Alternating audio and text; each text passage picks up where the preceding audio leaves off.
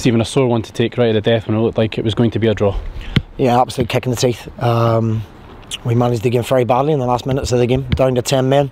Rightly or wrongly, that doesn't matter. We've possession of the ball twice in the last minute of the game. And you have to learn how to manage games and put the ball in behind, not trying two yard passes or, or drag backs in your own in your own half of the pitch. All we had to do is put the ball into the corner, lock on, the game was over. It is a, it's a definitely a sore one to take, yeah, and it, it shows the naivety of off the squad. Um, but we go again. You know, we've we've not won for a few games now.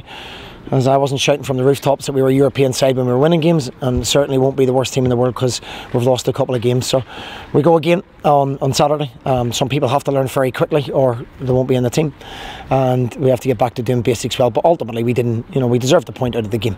We had another couple of chances, and we didn't take. I thought we were better first half than them. They were better second half than us. So draw would have been a fair result, but we didn't get. You don't always get what you deserve in, in football. Um, but let's not rip up the script and start again. It's it's making small things better. Going down to 10 men made it a difficult task as well, but the boys looked like they were hanging on. I think we made it difficult for ourselves. Whether the referee's decision's right or wrong, you know, I don't know. But um, I asked him, and he's 100% certain it was a dive. So we have to accept that. But we're in control of that. We're in control of one all. We go back into third place if we, we hang on to that. And we don't manage the game properly. So there's no two ways about it. Not the referee's fault. We didn't manage the game properly in the last minute. So we'll learn from it. We'll have to. We'll have to learn quickly. As I say, we're not going to rip up the whole script and, and everything's wrong. Um, we, we just have to reset and go again for Saturday. Yeah, it's an immediate chance to bounce back again on Saturday. Yeah, we have to. You know, we've got two, fair, three very winnable games coming up.